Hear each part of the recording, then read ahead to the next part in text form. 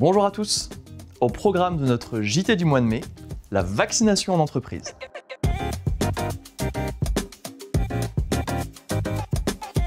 Vaccination en entreprise, employeur, quelles sont vos obligations? Le protocole national pour assurer la santé et la sécurité des salariés en entreprise a été mis à jour le 18 mai dernier afin de tenir compte de la campagne de vaccination qui s'accélère. Plusieurs points importants sont abordés dans ce protocole. Premier point, le salarié peut s'absenter pendant ses heures de travail pour être vacciné par le service de santé au travail. Dans ce cas, aucun arrêt de travail n'est nécessaire et l'employeur ne peut pas s'opposer à son absence. Il suffit que le salarié informe son employeur de son absence pour visite médicale sans avoir à en préciser le motif. En revanche, si le salarié ne passe pas par le service de santé de l'entreprise, il n'y a pas d'autorisation d'absence de droit. Concrètement, le salarié doit poser un congé si la vaccination se déroule durant le temps de travail. Deuxième point, le professionnel de santé est soumis au secret médical.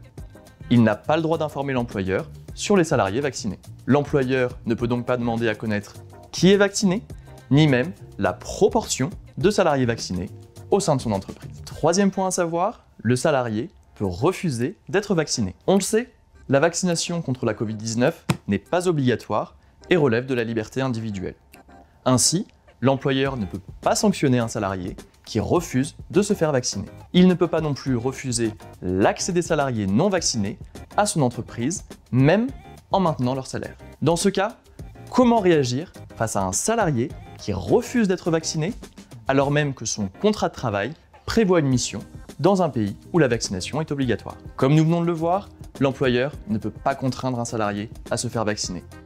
Toutefois, son refus de respecter les obligations du pays d'accueil, impliquant une impossibilité d'exécuter sa mission, pourrait conduire à une suspension du versement du salaire tout d'abord, et, si son remplacement est nécessaire, à une cause objective de rupture du contrat.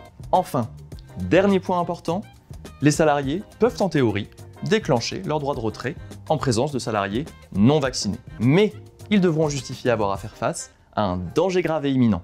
Justification qui ne sera pas évidente s'ils sont eux-mêmes vaccinés et si les recommandations gouvernementales, en l'occurrence les mesures barrières, ont été respectées au sein de l'entreprise. On le voit bien, rendre la vaccination obligatoire simplifierait les relations professionnelles. Sachez que la Cour européenne des droits de l'homme a jugé le 8 avril dernier que si la vaccination obligatoire est une ingérence dans l'exercice du droit au respect de la vie privée, elle sert toutefois des objectifs légitimes de protection de la santé et des droits d'autrui, car elle protège à la fois ceux qui reçoivent les vaccins et ceux qui ne peuvent pas se faire vacciner pour des raisons médicales. N'hésitez pas à nous contacter si vous avez besoin d'accompagnement dans la mise en œuvre de ces conseils. Je vous rappelle que le cabinet propose deux fois par mois des ateliers de formation sur des thèmes variés.